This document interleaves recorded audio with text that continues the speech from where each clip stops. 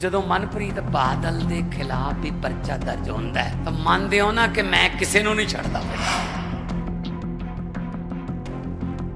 ਮਨਪ੍ਰੀਤ ਬਾਦਲ ਨੇ ਮੈਨੂੰ ਪੋਲਿਟਿਕਸ 'ਚ ਲੈ ਕੇ ਆਂਦਾ, ਉਹਨੇ ਉਦੋਂ ਪੰਜਾਬ ਦਾ ਸੁਨੇਹਾ ਦਿੱਤਾ ਸੀ। ਤੇ ਮੈਂ ਤਾਂ ਸੁਨੇਹੇ ਤੇ ਖੜਾ ਨਾ, ਮੈਂ ਤਾਂ ਉਸੇ ਸੁਨੇਹੇ ਤੇ ਖੜਾ। ਆਪ ਕਿੱਥੇ ਚਲੇ ਗਏ ਜਨਾਬ? ਹੁਣ ਥੋੜਾ ਥੋੜਾ ਆਜ਼ਾਦੀ ਦੀ ਝਲਕ ਮਿਲਣ ਲੱਗੀ ਨਾ।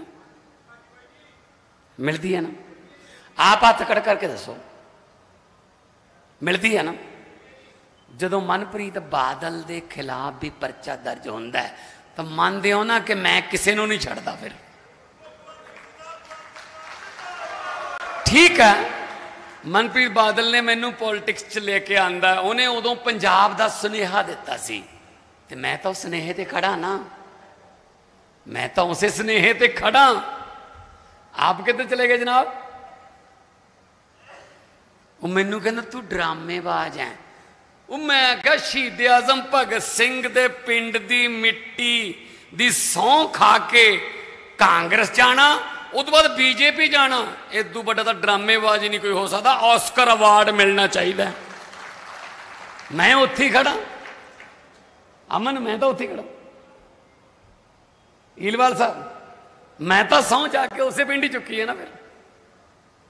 ਹੱਦ ਹੈ ਯਾਰ ਇਹ ਲੋਕ। ਇਹ ਕਾਕਾ ਜੀ। ਇਹਨਾਂ ਨੂੰ ਘਰੇ ਪਤਾ ਕੀ ਕਹਿੰਦੇ ਆ? ਕਾਕਾ ਜੀ। ਜਿਹੜਾ ਛੋਟਾ ਹੈ, ਛੋਟੇ ਕਾਕਾ ਜੀ। ਜਿਹੜੀ ਮੈਡਮ ਹੈ, ਬੀਬਾ ਜੀ। ਆਪਣੇ ਵਾਲੀਆਂ ਨੂੰ ਕੋਈ ਕਹਿੰਦਾ ਬੀਬਾ ਜੀ? ਇਹ ਕਾਕਾ ਜੀ, ਬੀਬਾ ਜੀ ਨੇ। ਇਹਨਾਂ ਤੋਂ ਖੈੜਾ ਛਡਾਉਣਾ ਪੈਣਾ ਆਪਾਂ ਨੂੰ। ਇਹ ਅੰਗਰੇਜ਼ਾਂ ਵੇਲੇ ਅੰਗਰੇਜ਼ਾਂ ਨਾਲ ਸੀ, ਮੁਗਲਾਂ ਵੇਲੇ ਮੁਗਲਾਂ ਨਾਲ ਸੀ। ਕਾਂਗਰਸ ਵੇਲੇ ਕਾਂਗਰਸ ਨਾਲ ਸੀ ਕਾਲੀਆਂ ਵੇਲੇ ਕਾਲੀਆਂ ਨਾਲ ਸੀ, ਬੀਜੇਪੀ ਵੇਲੇ ਬੀਜੇਪੀ ਨਾਲ ਹੋ ਜਾਂਦੇ ਆ। ਹੱਦ ਆ ਯਾਰ, ਕਦੇ ਲੋਕਾਂ ਨਾਲ ਵੀ ਹੋ ਕੇ ਦੇਖੋ ਯਾਰ। ਲੋਕਾਂ ਨਾਲ ਕਦੋਂ ਸੀ, ਦੱਸੋ? ਲੋਕਾਂ ਨਾਲ ਕਦੇ ਵੀ ਨਹੀਂ ਸੀ। ਇਹਨਾਂ ਨੂੰ ਐਂ ਲੱਗਦਾ ਬਸ ਐਂ ਆ ਜਾਂਦੇ ਲੋਕ ਬਸ। ਸੀਐਮ ਸਾਹਿਬ, ਅੱਜ ਇੱਕ ਸਿਆਸੀ ਜਲ- ਜਲਸੇ 'ਚ ਤੁਹਾਡੀ ਮੈਨੂੰ ਧਮਕੀ ਵਸੂਲ ਹੋਈ ਹੈ। ਮੈਂ ਤਾਂ ਤੁਹਾਨੂੰ ਇੱਕ ਗੱਲ ਯਾਦ ਹੀ ਕਰਾਉਣੀ ਚਾਹੁੰਦਾ ਕਿ ਸ਼ੋਹਰਤ ਆਰਜ਼ੀ ਚੀਜ਼ ਹੁੰਦੀ ਹੈ। ਹਰ ਦਿਲ ਅਜ਼ੀਜ਼ੀ ਇਹ ਇਤਫਾਕੀ ਹਾਦਸਾ ਹੁੰਦਾ ਤੇ ਤਾਕਤ ਤੇ ਹਕੂਮਤ ਨਾ ਅੱਜ ਤੱਕ ਕਿਸੇ ਇਨਸਾਨ ਕੋਲੇ ਸਦਾ ਰਹੀ ਹੈ ਤੇ ਨਾ ਤੁਹਾਡੇ ਕੋਲੇ ਰਹਿਣੀ ਹੈ। ਸਸਤੀ ਸ਼ੋਹਰਤ ਨਾ ਖਰੀਦੋ। ਅੰਗਰੇਜ਼ਾਂ ਨਾਲ ਰਲ ਗਏ, ਮੁਗਲਾਂ ਨਾਲ ਰਲ ਗਏ। ਮਨਪ੍ਰੀਤ ਜਿਹੜਾ ਹੈ, ਉਹ ਆਪਣੇ ਪੀਪੀਪੀ ਦੇ ਆਦਰਸ਼ਾਂ ਤੇ ਨਹੀਂ ਖੜਾ। ਜੇ ਕੋਈ ਬੰਦਾ ਪੰਜਾਬ 'ਚ ਮਨ ਪੀਪੀਪੀ ਦੇ ਆਦਰਸ਼ਾਂ ਤੇ ਖੜਾ ਹੈ ਤਾਂ ਉਹ ਮਨਪ੍ਰੀਤ ਖੜਾ ਜੇ ਨਹੀਂ ਖੜਾ ਤਾਂ ਭਗਵੰਤ ਨਹੀਂ ਖੜਾ। ਅੱਜ ਸਾਰੇ ਹਿੰਦੁਸਤਾਨ ਦੇ ਵਿੱਚ ਕਾਫਲਿਆਂ 'ਚ ਤੇ ਹੈਲੀਕਾਪਟਰ ਤੇ ਹਵਾਈ ਜਹਾਜ਼ਾਂ 'ਚ ਤੁਰੇ ਫਿਰਦੇ ਹੋ, ਜਿਵੇਂ ਕੋਈ ਮੁਗਲੀਆ ਸ਼ਹਿਜ਼ਾਦੇ ਤੁਰੇ ਫਿਰਦੇ ਆ।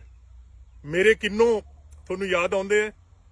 ਤੇ ਮੈਨੂੰ ਵੀ ਯਾਦ ਹੈ ਕਿ ਤੁਸੀਂ ਮੇਰੀ ਡਿੱਕੀ 'ਚ ਰੁੜਦੇ ਫਿਰਦੇ ਹੁੰਦੇ ਸੀ। ਮਨਪ੍ਰੀਤ ਦਾ ਮੂੰਹ ਨਾ ਖੁਲਾਓ। ਜੇ ਮਨਪ੍ਰੀਤ ਦਾ ਮੂੰਹ ਖੁੱਲ ਗਿਆ, ਤਾਂ ਹੋ ਸਕਦਾ ਹੈ ਪੰਜਾਬ 'ਚ ਤੁਹਾਨੂੰ ਲੁਕਣ ਨੂੰ ਥਾਂ ਨਾ ਰਵੇ।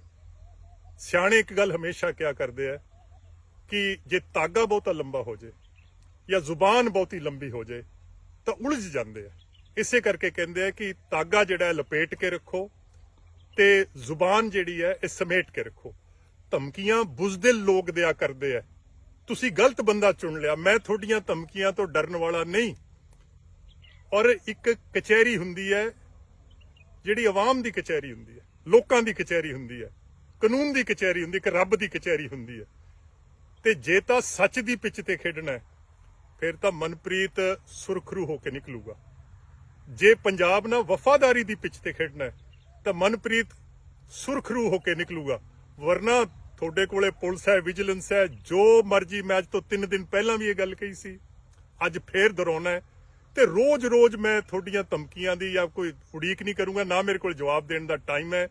ਜੇ ਮਨਪ੍ਰੀਤ ਦੇ ਖਿਲਾਫ ਜਾਂ ਮਨਪ੍ਰੀਤ ਨੇ ਪੰਜਾਬ ਨਾਲ ਕੋਈ ਬੇਵਫਾਈ ਕੀਤੀ ਹੈ ਜੋ ਤੁਹਾਡਾ ਦਿਲ ਕਰਦਾ ਹੈ, ਝੂਠਾ, ਸੱਚਾ ਕੇਸ ਬਣਾਓ। ਮੈਂ ਇਸ ਗੱਲ ਤੋਂ ਨਹੀਂ ਡਰਦਾ, ਪਰ ਇੱਕ ਅੰਗਰੇਜ਼ੀ ਦਾ ਮੁਹਾਵਰਾ ਹੈ ਕਿ whom the gods wish to destroy ਤੇ ਫਰਸਟ ਮੇਕ them ਮੈਡ ਪਰਮਾਤਮਾ ਨੇ ਜਿਨ੍ਹਾਂ ਦਾ ਨੁਕਸਾਨ ਕਰਨਾ ਹੁੰਦਾ ਉਹ ਪਹਿਲਾਂ ਉਹਨਾਂ ਦੀ ਅਕਲ ਤੇ ਪੜਦੇ ਪਾ ਦਿੰਦਾ ਉਹਨਾਂ ਨੂੰ ਦਿਸਦਾ ਤਾਂ ਹੁੰਦਾ ਪਰ ਅੱਖਾਂ ਦੇ ਅੱਗੇ ਪੜਦੇ ਹੁੰਦੇ ਉਹਨਾਂ ਨੂੰ ਸੁਣਦਾ ਤਾਂ ਹੁੰਦਾ ਪਰ ਉਹਨਾਂ ਉਹਨਾਂ ਦੇ ਕੰਨਾਂ ਦੇ ਉੱਤੇ ਪੜਦੇ ਪੈ ਜਾਂਦੇ ਆ। ਇਸ ਕਰਕੇ ਮੈਂ ਤੁਹਾਡੀ ਅਗਲੀ ਧਮਕੀ ਦੀ ਉਡੀਕ ਨਹੀਂ ਕਰਨੀ। ਜੋ ਤੁਹਾਡਾ ਦਿਲ ਕਰਦਾ ਕਰਿਓ। ਬਹੁਤ ਧੰਨਵਾਦ।